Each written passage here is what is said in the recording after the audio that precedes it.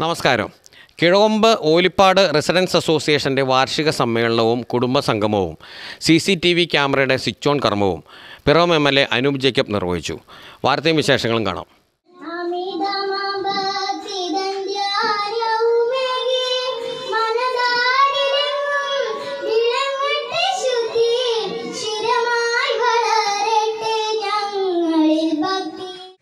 ഇഴവമ്പ് residence association പ്രവർത്തിക്കും പ്രവർത്തനം ആരംഭിച്ചപ്പോൾ നമുക്ക് നൂറ്റി പതിനഞ്ച് വീടുകൾ ഉണ്ടായിരുന്നു.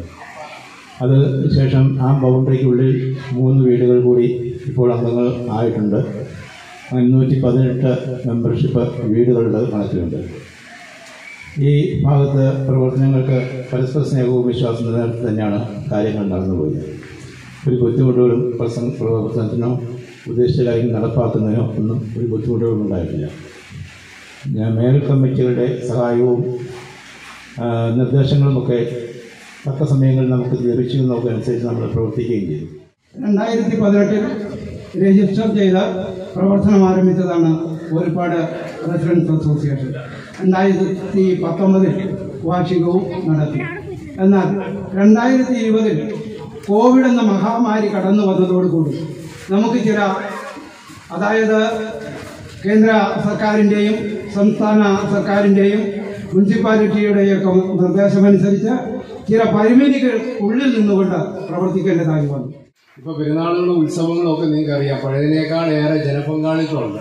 കാരണം പണ്ട് പെരുന്നാളും ഉത്സവവും ഓണവും ക്രിസ്മസും ഒക്കെ വരുമ്പോൾ അതിന്റെ ഭംഗി എന്താണെന്ന് നമ്മൾ അറിഞ്ഞില്ല. അറിഞ്ഞത് ഈ കഴിഞ്ഞ രണ്ട് വർഷം കൊണ്ടാണ്. വീട്ടിൽ ഇരുന്നപ്പോഴാണ് ഈ പെരുന്നാളിനും ഉത്സവങ്ങൾക്കും ഈ കൂട്ടായ്മകൾക്കും ഒക്കെ ഒരുപാട് അർത്ഥവും ഭംഗിയുമുണ്ട് ഒരുപാട് നിറമുണ്ട് എന്ന തിരിച്ചറിവ് നമുക്കുണ്ടായത്. യഥാർത്ഥത്തിൽ കോവിഡ് വന്ന ഒരു രീതി പറഞ്ഞാൽ നന്നായി. മനുഷ്യർ തിരിച്ചറിവിന്റെ കാലയളവായിരുന്നു. മനുഷ്യൻ എത്ര മേപ്പോട്ട് പോയാലും എത്ര വലുതായാലും ഒന്നുമല്ല. നിസ്സാരനാണ് നമ്മൾ ഓരോരുത്തരും എന്ന ഒരു തിരിച്ചറിവ് നമുക്കുണ്ടായ ഒരു കാലഘട്ടമാണ് ഈ കഴിഞ്ഞ രണ്ട് വർഷം എന്നത് സാമൂഹ്യമായ ഒറ്റപ്പെടലുകൾ സാമ്പത്തികമായ പിന്നോക്കാവസ്ഥ ഏറെ നമ്മളെ വലിച്ചു. ഇതിനൊക്കെ നമ്മൾ അതിജീവിച്ച് നമ്മൾ മുമ്പോട്ട് വരുമ്പോൾ നമ്മുടെ പരസ്പരമായി നമ്മൾ കൈകോർത്തതുകൊണ്ടാണ്. നമ്മൾ പരസ്പരം കൈത്താങ്ങായി നിന്നതുകൊണ്ടാണ്. അവിടെ റെസന്റ് അസോസിയേഷൻസ് നടത്തിയ ഇടപെടലുകൾ പങ്കാളിത്തങ്ങൾ വളരെ ശ്രദ്ധേയമാണ്. എനിക്ക് നേരിട്ടറിയാം. ഇവിടെയുള്ള നാട്ടിലാണെങ്കിൽ ഓരോ ദിവസവും നമ്മൾ വീടുകളിൽ ഓരോ അയൽവക്കത്തെ വീടുകളിലൊക്കെ പോയി സംസാരിച്ച് അവിടുത്തെ പ്രശ്നങ്ങൾ എന്തെങ്കിലും ഉണ്ടോ എന്നൊക്കെ നോക്കി. ഇല്ലെങ്കിൽ നമ്മൾ മറ്റുള്ള കാര്യങ്ങൾ വിശേഷങ്ങളും ഒക്കെ പറഞ്ഞ് വീട് വീടാന്തരം കയറി ഇറങ്ങി നടന്ന് ബന്ധം പുലർത്തുന്നവരാണ്.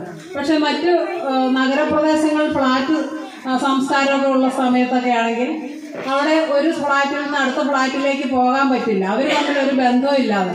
അങ്ങനെയാണ് റെസിഡൻസ് അസോസിയേഷന്റെ ഒരു ആവിർഭാവം തന്നെ ഉണ്ടായത്.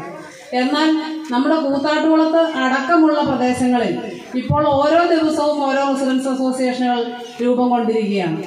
അവർക്ക് ചെയ്യാനുള്ളത് പല കാര്യങ്ങളാണെന്ന് തെളിയിച്ചുകൊണ്ടിരിക്കുന്നു.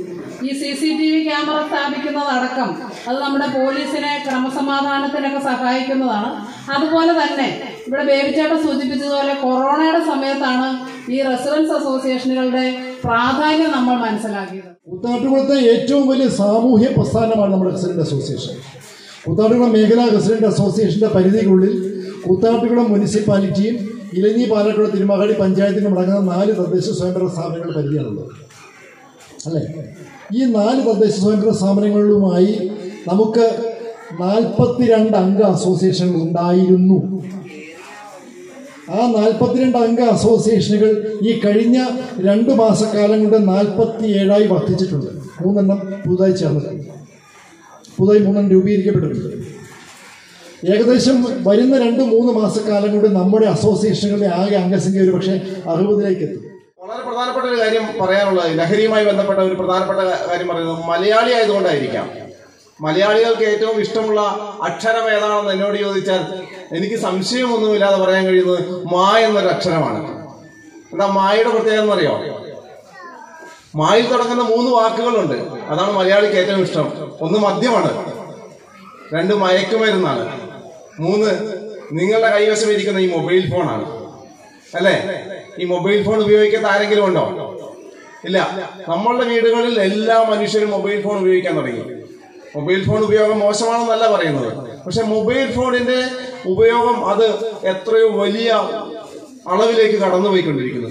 അവസാനത്തെ ഈ കോവിഡിന് മുൻപുള്ള കണക്കനുസരിച്ച് ഈ രാജ്യത്ത് ലോകത്തിലെ മൊബൈൽ ഫോൺ ഉപയോഗം മൂന്ന് വയസ്സിൽ താഴെയുള്ള കുട്ടികളിൽ. നമ്മൾ അഭിമാനത്തോടെയൊക്കെ പറയും നമ്മളുടെ മക്കളുടെ മൊബൈൽ ഫോൺ ഉപയോഗത്തിന്റെ മിടുക്കിനെ കുറിച്ച് നമ്മൾ വളരെ അഭിമാനത്തോടെ പറയാറുണ്ട്. പല അമ്മമാരും നമ്മളോടൊക്കെ പറയുന്നത് കേൾക്കുമ്പോൾ നമ്മൾക്ക് തന്നെ കോരിത്തരിപ്പുണ്ടാകാറുണ്ട് അങ്ങനെ മൂന്ന് വയസ്സിൽ താഴെയുള്ള കുട്ടികളുടെ മൊബൈൽ ഫോൺ ഉപയോഗം എൺപത്തിയാറ് ശതമാനമായിരുന്നുവെങ്കിൽ കൊറോണയ്ക്ക് ശേഷം കൊറോണയ്ക്ക് ശേഷമുള്ള അതിന്റെ കണക്ക് പറയുന്നത് തൊണ്ണൂറ്റി എട്ട് ശതമാനം എന്നാണ് പറയുന്നത് മസാല പപ്പടം പപ്പടം വേണമയ്യാന പണ്ടാരത്തി മുത്തുലക്ഷ്മി.